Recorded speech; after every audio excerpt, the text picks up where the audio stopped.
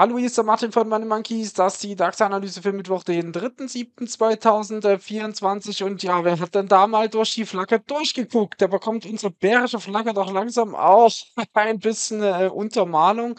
Und zwar durch, ja, wir sind unten rausgebrochen. Wir haben gestern drüber gesprochen mit dem Absturz unten und so weiter und so fort. Ich hatte gesagt, ähm, wenn er jetzt wirklich runterbricht, wäre es insbesondere wichtig, oder wie immer gesagt, also wenn er unter die Tiefste, insbesondere unter 260 zurücktauchen würde, hatte ich gesagt, würde ich ihm erstmal Raum geben, bis in die 200, ähm, 1,90. Äh, wenn er sich dort am Vormittag aufrichten könne, hätte er auch nochmal gut die Karten hochzudrehen. Ansonsten würde er sich wohl mit der unteren äh, Channelkante auseinandersetzen. So hat er es getan. Die oberen Routen waren damit gehend ja hinfällig, weil er sich überhaupt nicht oberhalb von einer 260, 300 irgendwie ansatzweise hochgedrückt hat. Ich denke, das hat er schön gemacht, erkennbar gemacht. Gleich von Beginn an hier nach unten durchgedrückt und auch unter die 260 geschoben. Damit war zumindest erstmal klar, dass das noch weitere Tiefs hier geben muss. Ähm, hat sich dann hier unten auch nicht alle viel Mühe gegeben, irgendwie bei 200, 1,90 mal Signale nach oben zu geben und ähm, erst tatsächlich hier unterhalb der Kante angefangen zu stabilisieren. Und das ist jetzt eben auch das Richtige. Wir haben jetzt einmal oben rausgestochen, wir haben jetzt einmal unten rausgestochen. Damit ist die Flagge an sich eigentlich bereit, um aufgelöst zu werden. Ja, also da sollte man jetzt sehr genau hingucken, in der Hoffnung, dass das jetzt hier eben nicht noch irgendeine eine weitende Formation wird, dadurch, dass das hoch hier so tief sitzt, das hier und dann noch drüber, ähm, wäre das noch denkbar. Aber ich sag mal, für einen reinen Flaggenablauf wäre das auch nicht untypisch. Also dieses Bild, wie wir es jetzt hier sehen, ist eigentlich eine klassische bärische Flagge. Die klassische bärische Flagge bekommt aber ihre Bedeutung eben erst jetzt, wenn die Flagge dann eben in die Bewegungsrichtung aufgelöst wird nach unten. Und dafür müsste unser DAX sich jetzt eben wieder runterdrehen.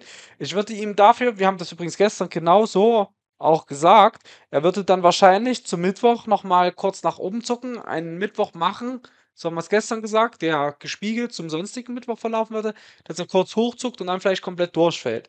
Ja, sollten wir das sehen, dass er wirklich den Mittwoch mal spiegelt, so wie wir ihn üblicherweise sehen, und er sticht uns hier hoch in die 230, 260 und dreht sich wieder nach unten um, würde ich schon damit rechnen, dass er nochmal auf die Flaggenkante geht. Die liegt jetzt schon ein bisschen höher, das ist jetzt knapp unter 1,10 und muss ganz klar sagen, wenn er die jetzt nach unten aufmacht, dann geht hier Platz auf. Dann geht hier Platz auf bis, da müssen wir in den Tageschart rüber wechseln. Das ist ja noch der Chart, den die Seminarteilnehmer hier gemacht haben. Wenn ich mal eine freie Minute habe, mache ich den jetzt ähm, die nächsten Tage auch wieder glatt, dass wir die ähm, anderen Punkte von weiter ausgeordnet und die Marken da wieder mit reinkriegen.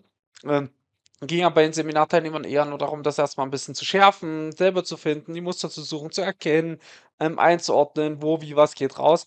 Ähm, natürlich bringe ich jetzt hier auch wieder meinen Touch dann mit rein soll ja auch weitergehen. Ähm, so haben wir jetzt erstmal die Flagge gut abgesteckt. Auf Tagesebene können wir das alles so unverändert lassen. Das bleibt auf jeden Fall hier erstmal eine ganze Weile bestehen.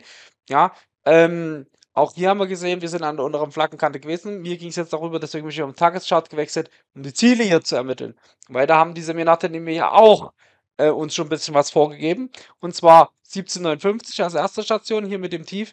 Ähm, schon aber mit dem Kerngedanken, gut, da ist zwar das untere Bollinger Band, das könnte ihn nach oben motivieren, braucht aber auch wirklich bullische Kraft, die dann da reinkommen muss. Und ähm, eher wäre fast zu vermuten, wenn er jetzt aus seiner bärischen Flagge unten rausfällt, dass er dann nochmal eine Bewegung raustritt, die gut ein paar Punkte nach unten geben kann. Und damit waren wir dann hier im Bereich um, ja, die Skep bei 1737 und sogar hier bis zu den Tiefs, da knapp um die 17600 rum, bis 17509 sogar. Ja, also wenn unser DAX unten aus der Flagge rausmacht, zum Mittwoch jetzt hier wegsegelt, hätte durchaus das Potenzial auf der Unterseite eben raus, äh, ja, gedrückt zu werden. Hier aus die Flagge raus in die Bewegungsfortsetzung und dann würde sich an der Bewegungswelle orientieren und die versuchen nochmal irgendwie nach unten loszutreten. Wie können wir das jetzt aber abgrenzen? Wir können das jetzt insofern abgrenzen. Wir haben ja schon eine deutliche Erholung gesehen und wir haben vor allen Dingen ähm, dieses klassische, es ist ein bisschen spät gekommen, das, das, das Tief für den Dienstag. Es ist jetzt hier kein klassisches Vormittagstief, aber auf jeden Fall haben die Amerikaner nach dem Tief, was gefunden wurde, keine weiteren Nachmittagstiefs reingestellt. Ja, auch wenn das erste Tief halt jetzt hier ein bisschen fast im Nachmittag ist, es ist der frühe Vormittag oder ne, eigentlich ist es schon nach dem Mittag, ja, 14 Uhr aber trotzdem mit einsetzendem US-Handel haben wir hier dann eben tatsächlich ähm, keine weiteren Tiefs bekommen und die Erholung. Und das ist für einen Dienstag immer relativ wichtig, weil das eigentlich bullische Mittwoch auch einleitet. Ja, dieses, ähm, Montag 'n bisschen schwach, Dienstag 'n bisschen schwach und dann, ähm, macht er diesen Turnaround am Dienstag. Das würde ich hier tatsächlich so jetzt auch gelten lassen, ja. Das sieht nach 'nem Turnaround Tuesday aus. Ja, am Montag hat sich nach unten gedreht, der Dienstag hat noch 'n Tief nachgesetzt und sich aber umgedreht. Und wenn der DAX das jetzt gelingt wenn ihm das jetzt gelingt, das zu halten, durch zum Beispiel 'nen schwächeren Start am Mittwoch, ja, dass er einfach 'n bisschen also diesen klassischen Mittwoch halt macht, ne, dass er runtersegelt und sich irgendwie über 18,120 hält und wieder hochdreht, könnte ich ihm mir sogar vorstellen, dass er durch die 230, 260 durchsticht nach oben, auch wenn's 'ne harte Marke bleibt, ja, und in den Gap Close geht. Und der ist hier so im Bereich um 300, 320 zu suchen, ja?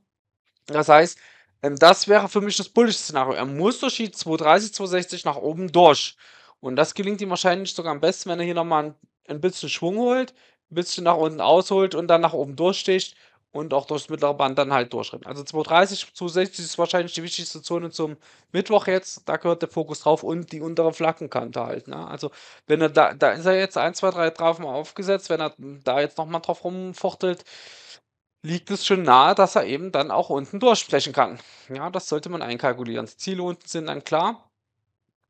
Und, ähm, er muss durch 230, 260 rum. Die der Start, wie rum er startet, könnte 'n guter Indiz dafür sein, ja, wo es hingehen soll dann über 'n weiteren Tagesverlauf. Wenn's erst runterkommt, könnte ich mir das sehr gut vorstellen.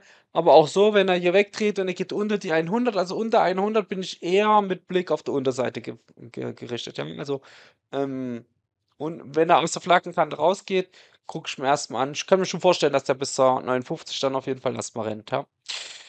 Ja, das ist so alles, was mir dazu einfällt. Dann würde ich hier, ähm, die Analyse zumachen, wünsche euch viel Erfolg, gutes Gelingen und dann hören wir uns morgen wieder. Bis dahin, tschüss.